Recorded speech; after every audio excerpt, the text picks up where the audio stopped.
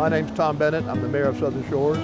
We had lost significant frontal dune on about 2,500 feet or so of our southernmost beach. After considerable negotiations and discussions, a project manager working through the county, of course, was able to lock in a price for us of about a million dollars. We think it's going to be close to that, maybe slightly under. The county has agreed to pay 50% of the cost of the project or $500,000, whichever is the greater. The Southern Shores portion is going to be starting late June, early July. Uh, the subline location, uh, that's where the dredge actually connects to the pump out station, is going to be south of the Kitty Hawk here. They'll go ahead and work north between the pier and the end of the taper, that's about 2,500 feet. So you have that shore pipeline on that section of the beach um, until they get to the end, and then once they've completed the taper, they'll go ahead and turn around and move that shore pipeline farther to the south. So there's an active construction area. That's where they're gonna have their bulldozers. That's where the material is gonna be pumped out. And so when they're doing that, the active construction area is about 750 feet to 1,000 feet.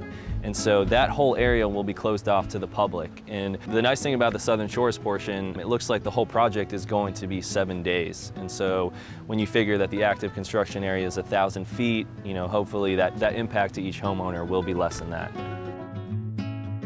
When we talk about the width, there's a design template, that's the minimum protection we want to provide, and then we have our construction template. And so the construction template's a lot larger than the design template, and that's specifically because of two things. One, we know the profile is going to equilibrate.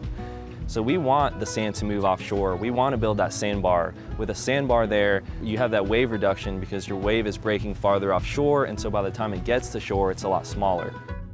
When the project's done, we do encourage the installation of sand fencing and uh, sprigging or dune planting. What that really does, it keeps the sand or minimizes that wind-blown sand that we've seen in other areas. The residents of this part of the beach also have agreed to help with the cost of the project, and they're, they're paying 30% of the town's cost, our cost being around 500,000. These residents, 25 or 27 homeowners properties will, will be paying $150,000 of that cost.